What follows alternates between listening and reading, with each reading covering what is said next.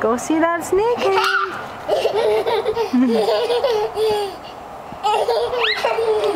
Emmy.